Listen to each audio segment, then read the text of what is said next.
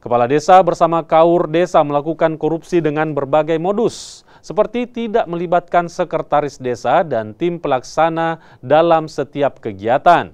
Proyek pembangunan tidak sesuai dalam rancangan anggaran bangunan. Selain itu, keduanya juga melakukan manipulasi surat pertanggungjawaban dana desa dengan mengambil dokumentasi dari desa lain.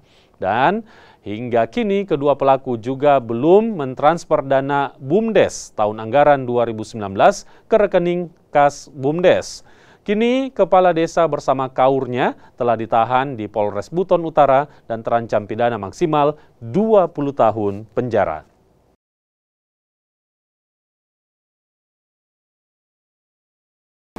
Hal ini menyangkut dengan perkara tindak pidana korupsi tentang penyalahgunaan dana desa tahun anggaran 2019 dan tahun anggaran 2020 di desa Kasulatombi, Kecamatan Kursusu Barat, Kabupaten Buton Utara.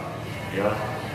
Dan dalam hal ini kita uh, menggunakan atau mempersangkakan uh, pelaku dengan pasal 2 ayat 1 dan atau pasal 3 Undang-Undang Republik Indonesia nomor 31 tahun 1999 Junto Undang-Undang Republik Indonesia nomor 20 tahun 2001 tentang